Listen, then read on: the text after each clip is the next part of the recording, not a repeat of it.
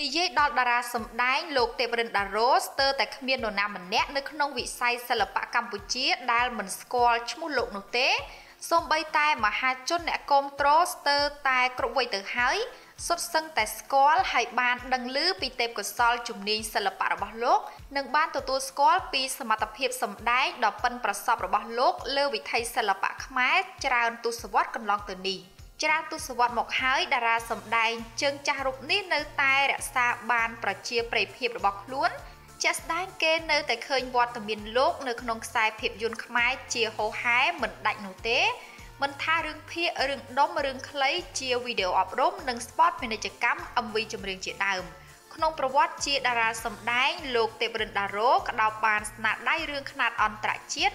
រួមទាំងរឿង Hollywood ផងដែរ ដែលតម្លៃខ្លួនរបស់លោកសម្ដែងឲ្យរឿងខ្នាតអន្តរជាតិនិងរឿង Hollywood គឺខ្ពស់មិនធម្មតា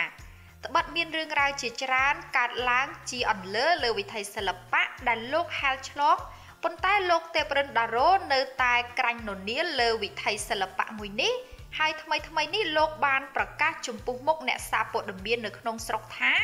លោកនឹងនៅតែបំរើវិស័យសិល្បៈរហូតទៅ លុះត្រាលោកធ្វើការលេងកើតឬទស្សនិកជនឈប់គ្រប់គ្រងលោកនេះវាដោយសារការខ្ញុំស្រឡាញ់វិស័យភាពយន្តនេះតាមពិតទៅវ័យវាគួរតែសម្រាប់គួរតែអីហើយក៏ប៉ុន្តែការស្រឡាញ់ផងហើយខ្ញុំគិតថាទស្សនិកជននៅតែចូលចិត្តខ្ញុំដូច្នេះខ្ញុំនៅតែបំរើទស្សនិកជនជារៀងរហូតលុះត្រាតែខ្ញុំធ្វើការលេងកើតហើយ បងប្អូនខាងផលិតកម្មឬក៏ទស្សនិកជនលេងត្រូវការខ្ញុំខ្ញុំឈប់អស់ពីដួងចិត្តរបស់ខ្ញុំខ្ញុំសូមថ្លែងអំណរគុណដល់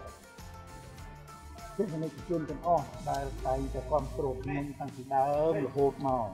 ធ្វើឲ្យខ្ញុំនឹងមានជីវិតបំរើសិល្បៈភាពយន្តនេះជារៀងរហូតមកក៏ដោយសារទស្សនិកជនដែរដូច្នេះសូមអរគុណអរគុណមែនទែនអស់ពីដួងចិត្តអឺ ដែលជួយគ្រប់គ្រងនិងចូលចិត្តការសម្ដែងរបស់ខ្ញុំអរគុណក្រឡេកមកមើលនៅលើបណ្ដាញសង្គម Facebook វិញនោះជារៀងរាល់ថ្ងៃតារាសម្ដែងជើងចាស់វ័យ50ប្លាយលោកទេពរិទ្ធដារ៉ូ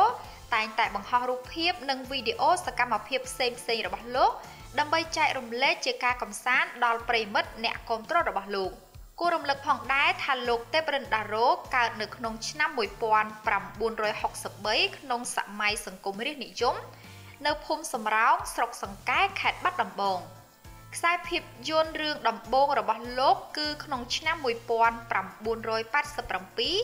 គឺរឿងទឹកភ្នែកសម្ងាត់ក្នុងរាត្រីពោស្វាយក្នុងផលិតកម្ម Solivan ដែលជាខ្សែភាពយន្តទី1របស់លោក តែរឿងនោះមិនសូវទទួលបានការចាប់អារម្មណ៍ប៉ុន្មានទេ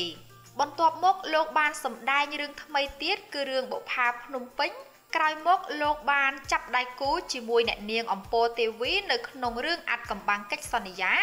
ក៏คล้ายជាដៃគូសម្ដែងដ៏ស័ក្តិសមនិងល្បីឈ្មោះតាំងពីពេលនោះមក